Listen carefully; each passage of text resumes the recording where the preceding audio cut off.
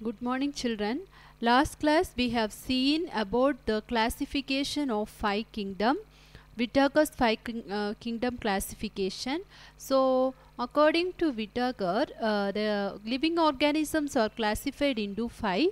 What are they? Monera, Protista, fungi, plantae and animalia isn't it? So last class we have seen about monera protista fungi and uh, classification of plantae in this class we are going to see about the classification of kingdom animalia. So kingdom animalia uh, these are the organisms they are eukaryotic multicellular and heterotrophic. What is meant by eukaryotic? They contain well defined nucleus. Okay. So all the organism they are uh, which are eukaryotic, multicellular and heterotrophic in nutrition comes under kingdom animalia and uh, this uh, eukaryotic organism the cells of these organism do not have a cell wall. And most of the animals are mobile. That means they will move from one place to another.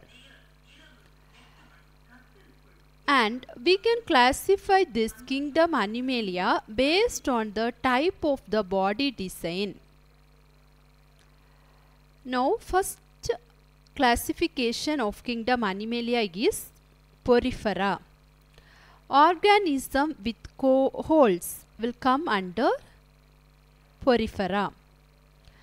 So the organisms which comes under porifera are uh, organism with holes and not only that they are non-motile they attached to some solid support non-motile means they can't move. They will attach to some uh, solid support.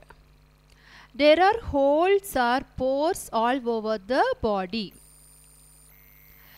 So this lead to a canal system canal system continuous system which help in circulating uh, water throughout the body to bring food and oxygen inside the body of the organism.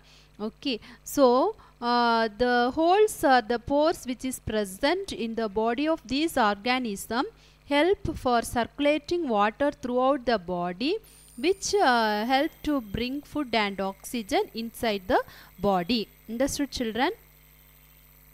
Now these animals are hard very hard. Their outside layer is very hard and uh, it is like uh, skeleton okay? It is so hard and uh, uh, they are commonly called as sponges.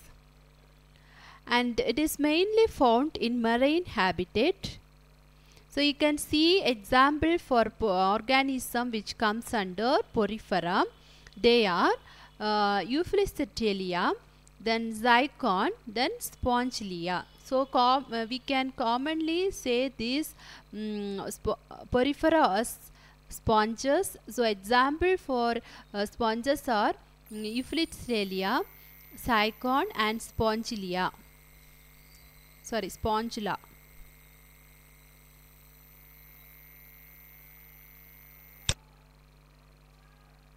Now, next classification of kingdom Animalia that is Coelenterata. Coelenterata is also called as Cnidaria.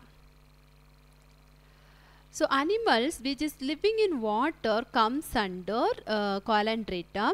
So uh, the animals which are living in water shows uh, various body design and it also contain cavity in the body. Cavity means fluid uh, which is present in the body and uh, the animals or the body of these animals has two layers of cell. One layer will be found in outside of the body and another two layer uh, second layer will be in the inner lining of the body. Some of these species they can live in colonies. Colonies means they can live in groups okay? Example for the organisms which are living in groups are corals. So here you can see the organism uh, hydra and sea anemone uh, which are the example for the coelenterata okay? Example corals hydra uh, jellyfish and sea anemones okay? These are the organisms which are living in um, water and showing the differentiated uh, body design and uh, they have two layer one layer will be outside of the body another layer will be forming the inner lining of the body and some species can live in colonies that is they can live in groups. Example for that is corals. Understood children? Now next classification is platyhelminthes so uh, this organism um, body is bilaterally symmetrical. Bilaterally symmetrical means uh, they are left and right halves of the body have the same design. Bi means two. Laterally symmetrical means the left and right halves of the body have the same design. And uh, there are three layers of uh, cells. So these animals are called as um, triploblastic. Triploblastic means tri means three, no? So uh, pla uh, plastic means layer. Okay, the they contain three layers of cells which is differentiated into tissues. So these animals are called as triploblastic. And uh, there is no internal body cavity. So body cavity or coelom Coelom means fluid, fluid which is present in the body. Okay, so these organisms, they do not have any internal body fluid.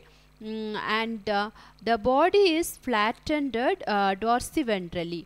Flattened mean flattened means they are flat. In dorsiventrally means upper and lower side of the body is compressed and flattened okay so the body is flattened dorsiventrally dorsiventrally means um, the upper and lower layer of these organisms is uh, compressed. So uh, this organism body design is flattened and dorsiventrally so they are called as flatworms so they are either free living or parasitic. Example for uh, these organisms are planaria, liver fluke. Here you can see the picture of this organism. Planaria, liver fluke, tapeworm also comes under this class. Platyhelminthes.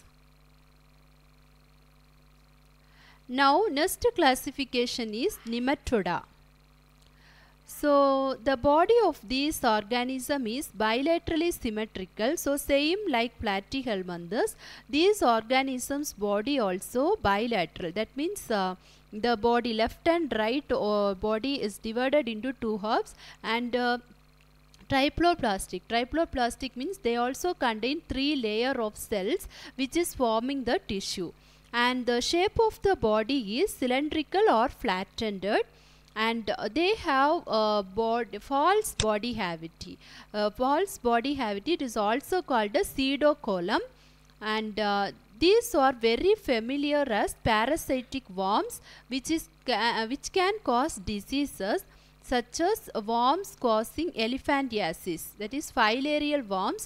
So worms which is causing elephantiasis is called filarial worms comes under nematoda. And the worms in the intestines which is present normally in our intestines such as roundworm or pinworms uh, or uh, comes under nematoda. Okay. Example for uh, nematoda organism which belongs to nematoda or ascaris wuchereria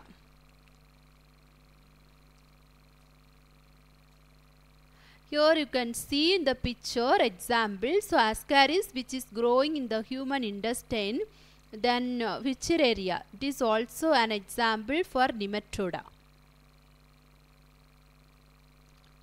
So I hope that you all understand uh, the continuation of the classification of animalia we can see in the next video. If you have any doubt you can ask children. Thank you.